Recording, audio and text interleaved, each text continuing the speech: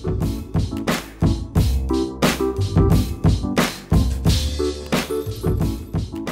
what's up? Scott Hawksworth at RecordingExcellence.com here. And in this video, I wanted to talk about the best and worst mixing advice ever. Now, that might seem kind of hyperbolic because well, there's just a lot of mixing advice out there, and certainly there's a lot that could be considered the best and the worst. But really, I wanted to cover two pieces of advice that I see experienced mixing engineers giving out time and time again. And I wanted to cover what's great and what makes it among the best advice you can get, and what's not so great and what makes it among some of the worst advice you can get. So, the first piece of advice that I see thrown around a lot in mixing is use your ears. Now, this is sometimes delivered with a bit of snark because, well, it should be pretty obvious in mixing, use your ears. But for the benefit of, uh, of everybody, I do think it is among the best advice you can get because, yes, mixing is all about how you listen and make adjustments to your mix. Use your ears is a really important tip and thing to keep in mind. We get so wrapped up in tips, tricks, or some secret way to mix a song, you know, some secret technique that we can lose sight of the most important thing, which is, hey, develop those critical listening skills and really listen to your your mix, listen to how those instruments sound, listen to the vocal. And so use your ears is very helpful in that sense, you know when you treat your space work on hey how does how does it sound? How does your space sound? How do those frequencies reflect all across your room and how does that affect how you mix? Yes use your ears. Don't worry so much about having the perfect plug-in or spending all this money on the perfect microphone use your ears. So that's where it's it's one of the best tips you can get because that's at the heart of it. Mixing is all about listening and your ears are your tools that help you listen. Now, why do I think it's also among the worst pieces of mixing advice you can give? Well, unfortunately, there's a couple reasons. One, your ears lie to you from time to time. This is just a fact when you have been listening to the same song for hours on end and you're mixing the same song and making these tweaks, your ears can start to get used to imperfections in that mix and will just tune them out. So, whereas you're thinking your mix is sounding perfect, a third party listener might hear something that is completely horrible that you're just missing completely because your ears are lying to you and you're used to it. I also think it's unhelpful because here's the facts. If you're not experienced and have been mixing for 15, 20 years, you your ears will not have been developed to the point where you can critically listen in the same way that a mixing engineer who has been doing this for multiple decades can.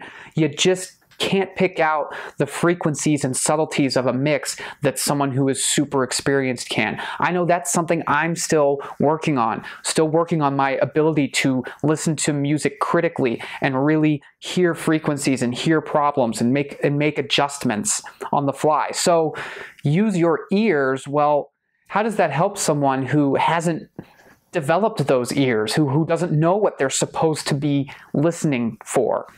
So that's why use your ears, I think, is among the best and worst pieces of advice you can get. The second piece of advice that I see thrown around a lot, and it's really just an answer that mixing engineers give when they're asked a question How do you get this kind of sound? Or how did you achieve this in this specific mix? And the answer is it depends. Now, this is a great and, and really among the best pieces of advice because it, it exposes a truth to mixing. And, and, and the truth is, is that mixing is an art form. It is not something that it's paint by numbers and okay if i follow this this this and this it's going to work every time on every mix no matter the genre and it's going to sound great uh, maybe some of us uh, myself included would wish that that was the case with mixing but really mixing is an art form and that's what makes it so great is that there are many many ways to achieve great sound in a number of mixes and you can go about it all in, in completely different paths. So that's where it depends makes sense because if someone says, "Well, how did you how do I get great reverb out of a great reverb sound out of this vocal?" Well, it depends. What's going on in the mix? What what other what other plugins are you running? You know, what what what's your uh, what's your setup? These are all things that okay, yes, it depends on. So it's important to keep that in mind when you're mixing that yes, it depends. Now, why is this among the worst pieces of advice you can give? Well, it's not really helpful if you're just starting out mixing or trying to improve to have someone say, well, it depends. A lot of us, myself included, get better by observing those who have more experience and who are, quite frankly, better mixers and observing what they do and learning about, okay, what was your process for getting this specific sound out of this specific track? Because then I can take that process and either apply it to my own mixes with tweaks, obviously, because it's never going to work the exact same way, and then grow from there and then expand out of it and develop my own system, my own workflow. So saying just it depends and throwing up your hands, well, okay, it depends, fair enough. Show me what you did anyway. Show me how you might approach it. Give me an example. Then I can learn from that and take that to heart. That's one of the things with mixing that I think is too often overlooked.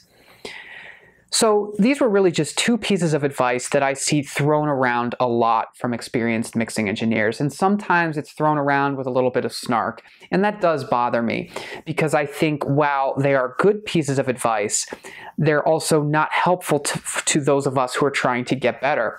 I know it's something when I first started out and I was looking for tips and advice and guidance, having someone say, mm, use your ears. Well, that's kind of I don't know, a bit elitist when you just dismissively say, use your ears. You can get better at mixing no matter what skill level you are you have, no matter what kind of home studio setup you have. I believe you can get better and you can make better music and make better sounding music when you record it. So don't take these pieces of advice completely to heart. Take them with a grain of salt. Take the parts that are good the good uh, the good pieces out of it. So yes, use your ears. Don't just you know listen. But the bad parts of it, throw that aside. Don't feel as though that there's some mysterious mixing knowledge that you'll just never get, um, which I think some of these these pieces of advice kind of tend to to uh, propagate. So that's my video for today. Uh, thanks so much for subscribing and uh, yeah, make some great music.